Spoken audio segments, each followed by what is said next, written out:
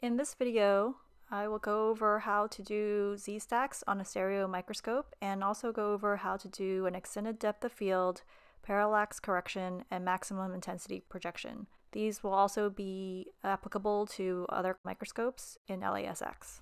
The first thing you want to do is select the Z-stack option at the top. That will open a window in which you can go ahead and focus to the top of your Z-stack and then hit begin.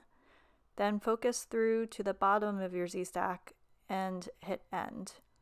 One thing I like to do on the M205 especially is to hit the go to begin before I start my stack. Another thing to check before you hit start is the exposure time. Occasionally with fluorescence I lower this exposure time to get a faster refresh rate when I'm live and that way I can focus faster. The extended depth of field is a contrast based projection of your Z-stack which you can activate either before or after you acquire your image.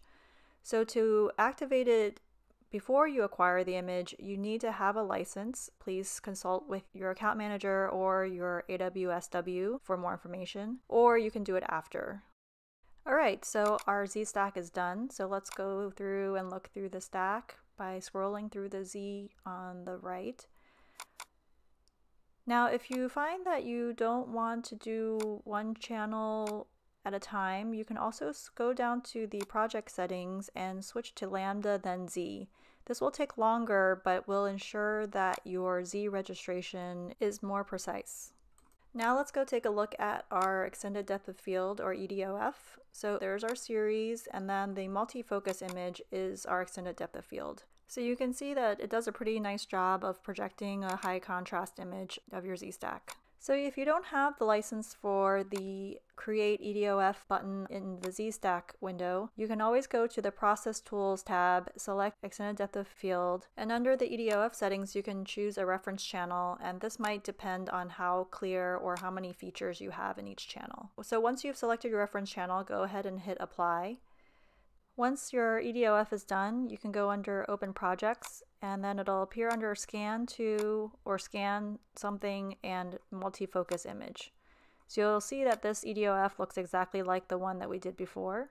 So if your EDOF doesn't look good, there's a couple of things you can do. One is to change that reference channel that I showed you earlier. The other is to go into your crop tool and basically edit out the really unfocused images. So the way that EDOF works is by contrast. So if it looks really hazy, it won't be able to do a good job of making an extended depth of field.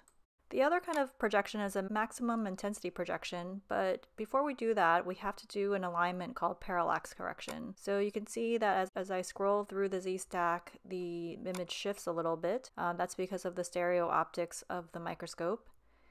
So under parallax correction, I will choose a couple of options here and then hit apply.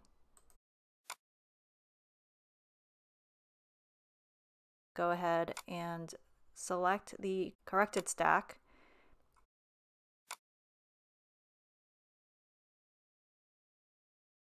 then go under Process Tools, select Projection. There's a variety of different projections. I chose Maximum Intensity Projection, and that will appear as the processed image here.